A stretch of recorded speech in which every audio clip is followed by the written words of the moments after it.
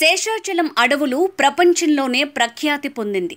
అరుదైన ఎర్రచందనం చెట్లకు శేషాచలం అడవులు పెట్టింది పేరు. అలాగే జీవ వైవిధ్యానికి శేషాచలం అడవులు ఆలవాలం. రకరకాల జంతువులు ఇక్కడ కనిపిస్తుంటాయి. తాజాగా రెండు అరుదైన పిల్లులు కనిపించాయి. తిరుమల రెండో ఘాట్ రోడ్డు చివరి మలుపు సమీపంలో ఆ పిల్లులను గుర్తించారు. రోడ్డు నిర్మాణ కార్మికులు శేషాచలం అటవీ ప్రాంతంలో పనులు చేస్తుండగా ఆ పిల్లులు కనిపించాయి.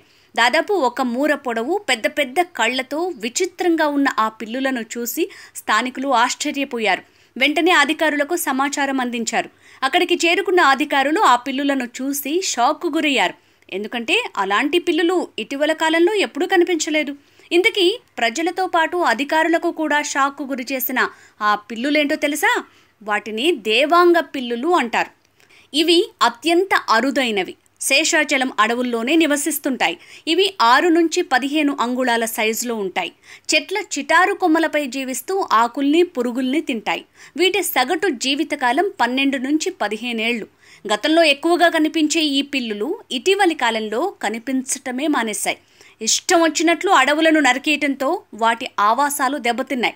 రోడ్డుపై కనిపిస్తే ఎక్కడ మనుషులు చంపేస్తారేమో అన్న భయంతో బయటికి రావటం మానేస్తాయి ఇప్పుడు లాక్డౌన్ కారణంగా తిరుమల ఘాట్ రోడ్డులో మనుషుల సంచారం తగ్గిపోయింది.